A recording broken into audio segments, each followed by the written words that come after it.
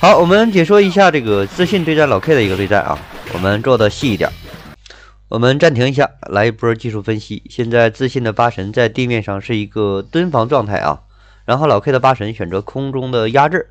这个时候，如果老 K 八神跳地的话，落地的时候就会被自信偷一波下盘。但是相反，八神的跳 C 是重拳先落地，身体后着地。这样，如果自信想偷老 K 的下盘，就会被老 K 哎打一波高伤害。我们可以看一下后续，好，这样被老 K 打了一波葵花的四连啊，五连伤害，下臂摘一段小葵花，但是自信抢招发个波，这时候自信的压制，兄弟们看看啊，他也是选择跳 C 打三段小葵花。我们再做一波技术分析啊，就是老 K 八神起身的一瞬间呢，他会预判对手你要怎么打我，是不是要跳抓？所以说老 K 起身呢，觉得对手会跳跃萧峰，想通过偷下盘来缓解这个压制。结果自信这次还是选择跳 C，所以说老 K 八神被一套打晕。呃，对，这样一下就会被打晕。每一次八神跳跃的时候选择跳 C 啊，对手下盘偷不到你，相反会被你直接带走。这一波老 K 的八神也是吃了这个亏。我们看看老 K 二发的大猪。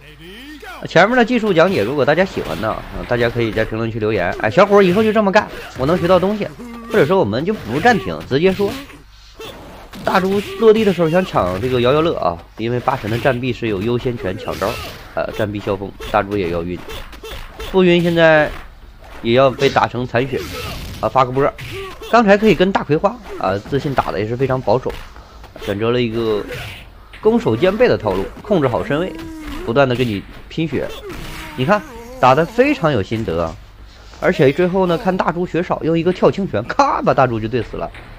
哎，三颗气的大门有多么恐怖？我们现在说的就是老 K 的大门。零零后的自信呢，真是，应该说是小伙子还是太年轻，年轻有为。直接先来个蓝之山，每一颗气都力无虚发，争取打中对手每一个致命的点。跳中腿下中腿啊，然后被打了一个萧峰，这必须八只女，因为八神三颗气，不用白不用。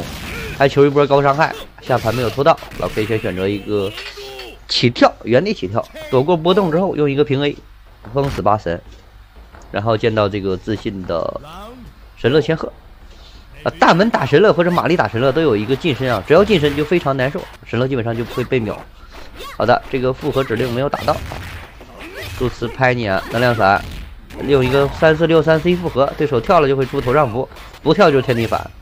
来了，这个蓝神嘣一亮灯，然后第三段切出反假真真阵，瞬间爆炸，这样老 K 轻松见到了啊自信的大门。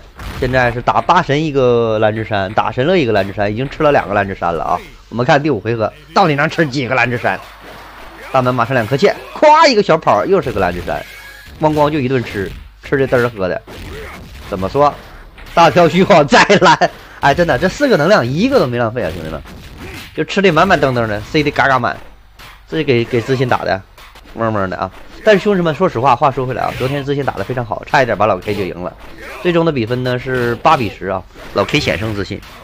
为这么年轻有为的后生啊，我们感觉非常的舒服。